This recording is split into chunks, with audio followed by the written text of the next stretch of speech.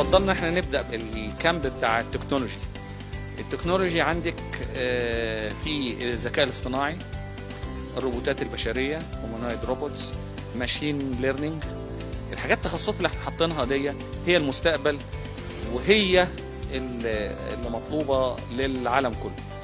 طبعا إحساس بالفخر والولاد وهي داخلة وهي فرحانة وسعيدة كمان إن إحنا كمان في الظروف الصعبة دي بتاعة الكورونا.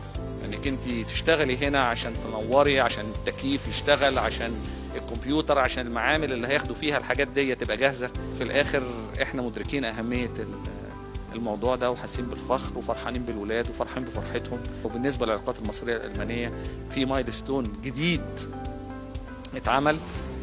ممتد من 150 سنة من المدارس الألماني ومعهد جوتا والجامعة الألمانية أكبر مشروع تعاون في التعليم العالي وإحنا هنا ده امتداد في جي أي يو تاني. ده توسع للعلاقات المصرية الألمانية وتأكيد لأهمية مصر ونجاح منظومة التعليم الألماني في مصر إنها تطلب تاني.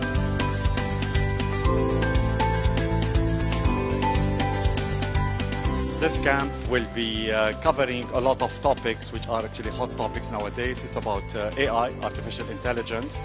Uh, we will be having also uh, a course about uh, game development. Uh, students will learn a new top notch uh, technology which is called Unity to implement games as well as implement virtual reality applications.